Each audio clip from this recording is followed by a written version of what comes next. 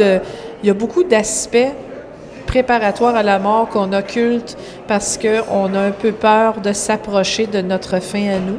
Euh, puis je pense, en tout cas, moi, c'est la deuxième fois que je le vois, le film.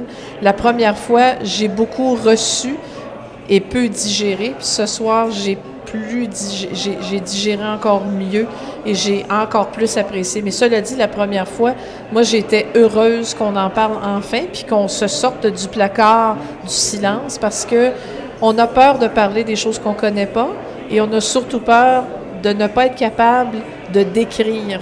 Puis je pense que le, le, fait de ne pas être capable de le décrire, on l'assume totalement, puis en même temps, d'en parler, même si on n'est pas capable de le décrire, ça fait qu'on est tous reliés encore plus dans notre quête de l'absolu. Puis en regardant ce film-là, en regardant comment Violette a travaillé euh, toute la, trame et, les différents aspects qui touchent la mort, moi, ça, ça je sais pas, ça me je, dis pas que j'ai hâte de mourir, mais on dirait que j'apprivoise ça avec un peu plus de sérénité. Puis je suis curieuse un peu plus. J'ai un peu plus le goût d'aller fouiller les rituels euh, des différents pays, comme ce qu'elle a montré dans le film. Mais aussi, ça, ça, ça te ramène à.